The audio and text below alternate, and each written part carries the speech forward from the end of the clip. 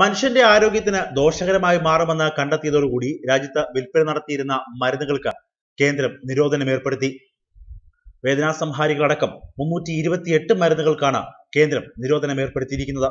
മനുഷ്യന്റെ ആരോഗ്യത്തിനെ ദോഷകരമായി ബാധിക്കുന്ന നിരവധി മരുന്നുകൾ വിപണിയിലുണ്ടെന്ന രീതിയിൽ നേരത്തെയും വാർത്തകൾ ഉണ്ടായിരുന്നു കേന്ദ്ര ആരോഗ്യ മന്ത്രാലയം ഇക്കാര്യം ഉറപ്പാക്കാൻ വേണ്ടി കൃത്യമായ പരിശോധനകളും നടത്തി വന്നിരുന്നു.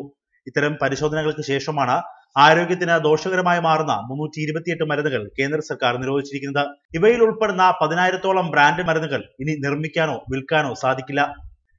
കേന്ദ്രത്തിന്റെ വിദഗ്ധ സമിതിയുടെ ശുപാർശ അനുസരിച്ചായിരുന്നു ഈ തീരുമാനം.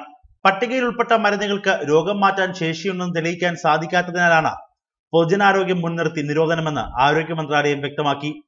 പ്രമുഖ ബ്രാൻഡുകളായ സാരഡോൺ ടാക്സിമേ ഇസഡ് പ്ലാന്റേ പ്ലസ് ക്രീം തുടങ്ങിയവ നിരോധിച്ച മരുന്നുകളിൽ ഉൾപ്പെടുന്നുണ്ട്. പക്ഷേ ഇത് ഇന്ത്യൻ ഔഷധ നിർമ്മാണ മേഖലയെ പ്രതികൂലമായി ബാധിക്കും. ആയിരത്തി അഞ്ഞൂറ് കോടി രൂപയുടെ വ്യവസായം കുറയുമെന്നാണ് പ്രതീക്ഷിക്കപ്പെടുന്നത്. പ്രമേഹ രോഗികൾക്ക് നൽകുന്ന ഗ്ലൂക്കനോ പി ജി ബഹിരാഷ്ട്ര മരുന്ന് കമ്പനിയായ അബോട്ടിന്റെ ട്രൈബെറ്റ ലൂപ്പിന്റെ ട്രൈപൈഡ് എന്നിവയും ഈ മരുന്നുകളിൽ ഉൾപ്പെടുന്നുണ്ട്. ന്യൂസ് ഡെസ്ക് മലയാളി വാർത്ത.